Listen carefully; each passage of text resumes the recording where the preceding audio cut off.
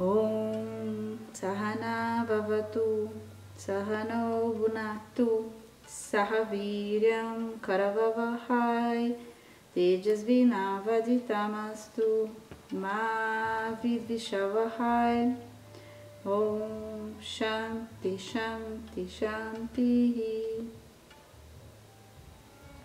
Oi, hoje é nosso primeiro dia de leitura do livro Panchatantra, livro 1, prólogo. Salve! Om!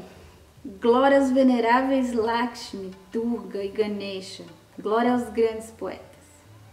Brahma, Rudra, Kumari, Hari, Varuna e Yama. Varni, Indra, Kubera, Chandra e Aditya. Sarasvati, os oceanos, os yugas, as montanhas. Vayu, a terra, as serpentes, os citas, os rios, os ashwins, Shri, Dit e os filhos de Aditya. As mães divinas, Chandrika e outras, os Veda, os lugares de peregrinação, os ritos sacrificiais, os Gana, os Vasos. Os grandes sábios, sábios e os planetas sejam sempre propícios.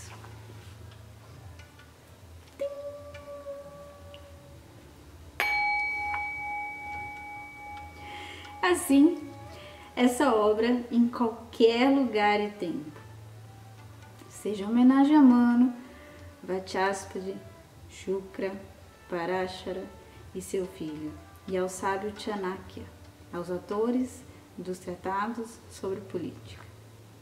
Ao perceber que esta era a essência de toda a ciência política do mundo, Vishnu Charman elaborou esse cativante tratado em cinco partes. Assim, eis que sempre se ouve. No distrito do sul, há uma cidade chamada Mahilarupya.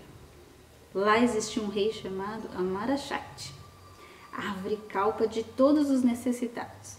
Profundo conhecedor de todas as artes que tinha, a cobrir-lhe os pés, feixes de raios luminosos e originados pelas gemas e tiaras de soberanos iminentes. Seus três filhos, que se chamavam Vashu Shakti, Ugara Shakti e Anika Shakti, eram muito ignorantes. Então, o rei, percebendo os desinteressados na ciência, convocou seus ministros e disse: Ai de mim! Bem sabem vossas excelências que todos os meus três filhos são hostis ao estudo e desprovidos de discernimento. Ao vê-los assim, o reino, apesar de tão grande, não me traz felicidade. Ou com mais exatidão, se diz isso. Dentre os filhos, um não nascido, um morto ou um estúpido, são preferíveis aqueles dois, o morto e o não nascido, pois eles causam pequena dor. O tolo, por outro lado, pode atormentar durante toda a vida. É preferível o aborto, é preferível abster-se de relações sexuais no período fértil, é preferível o natimorto e é preferível até que nasça mulher. É preferível a esposa estéreo e é preferível que permaneça, é mesmo preferível que permaneça no útero a ter um filho ignorante, mesmo dotado de bela aparência, riqueza e virtudes. O que se faz com a vaca que não concebe, nem a leiteira? Qual a utilidade de um filho vivo que não é sábio nem piedoso? E o rei continua: Para que aconteça o despertar da sua inteligência, é preciso que se ponha em prática alguma estratégia. Eis aqui estabelecida uma assembleia de 500 sábios cuja subsistência é garantida por mim, portanto, que se esforcem para que meus desejos se encaminhem para o sucesso. Um disse: Majestade, a gramática é estudada durante 12 anos.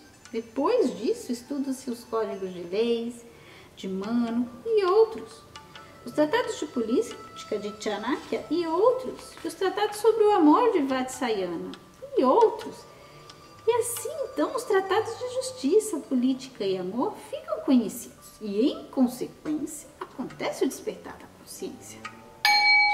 Do centro da Assembleia, o ministro Sumacho declarou: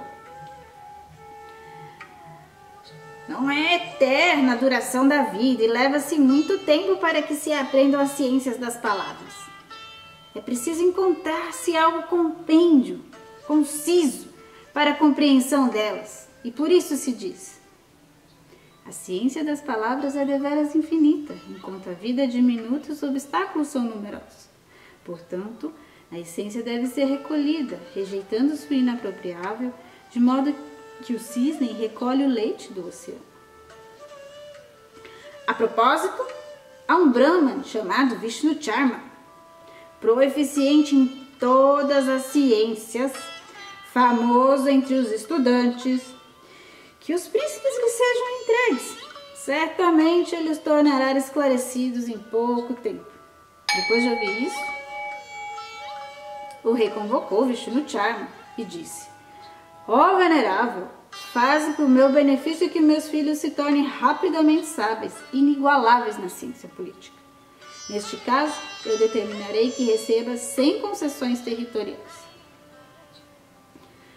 Vishnu Charma, porém, disse: Majestade, se ouça minha promessa. Eu não faço comércio com a ciência, nem mesmo por 100 concessões territoriais. Todavia, no prazo de seis meses, se não tornar vossos filhos versados nas ciências morais, então renunciarei meu próprio nome. Ouvindo a proposta difícil de realizar, o rei, então exultante, perplexo, junto com o ministro, entregou os príncipes a Vishnucharma, sentindo-se extremamente feliz.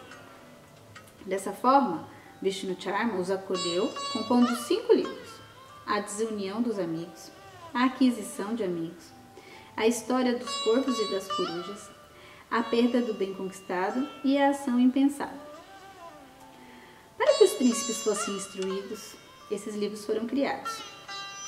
Os príncipes, tendo estudado durante seis meses, alcançaram o que fora previsto. Desde então, o tratado moral chamado de Panchatantraka circula pelo mundo com o propósito de educação de jovens. Por que argumentar mais? Quem estuda sempre esse tratado de moral e o conhece de cor, jamais é apanhado pela destruição, mesmo que seja proveniente de Indra.